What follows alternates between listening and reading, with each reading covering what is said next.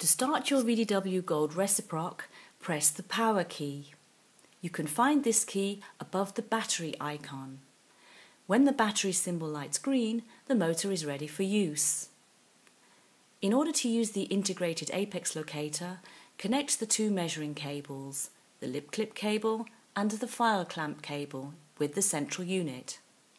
Symbols at the back of the device show which cable goes into which socket. The apex locator is not activated by a separate switch, but by direct contact of the two electrodes. Touch the micromotor with the lip clip for at least three seconds. The information apex locator on will appear on the display and the apex light will change from red to green. This means the integrated apex locator is ready for use. As an alternative, the contact can be created by fastening the file clamp on the lip clip for a minimum of 3 seconds. In general, there are two options to determine the length of a root canal. The first option is to determine the root canal length separately with a hand file inserted in the file clamp. The second option is the combined length determination while preparing the root canal with a rotary or reciprocating file in the contra angle. After irrigation of the root canal, dry the access cavity with a cotton ball. Then, hang the lip clip on the patient's mouth opposite to the tooth being treated. This is important to prevent the possibility of a short circuit. We also recommend the use of a rubber dam. To begin the separate length determination, insert the hand file, such as a K file or a C pilot file, carefully into the root canal. Connect the file clamp to the file. Slowly move the file in an apical direction.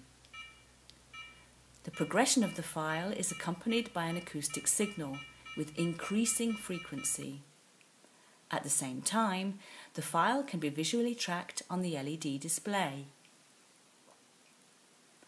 Three blue LEDs represent the median coronal root canal section.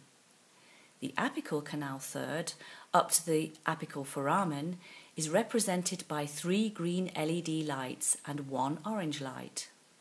The red LED appears as soon as the apical foramen has been passed, in case of over-instrumentation. The working length should normally be set at the third green LED. Alternatively to separate length determination, Simultaneous length determination is also possible through the contra angle during instrumentation. Spray disinfectant onto the contra angle and use the protective silicone cover for better isolation. If you enable the automatic apex stop via the menu button, the file will automatically stop when it reaches the apex. The automatic apex stop works both with the reciproc system and a continuous rotary NiTi system such as Mtwo. To disengage the file, release the foot pedal and then press it again. The file will automatically rotate in the opposite direction.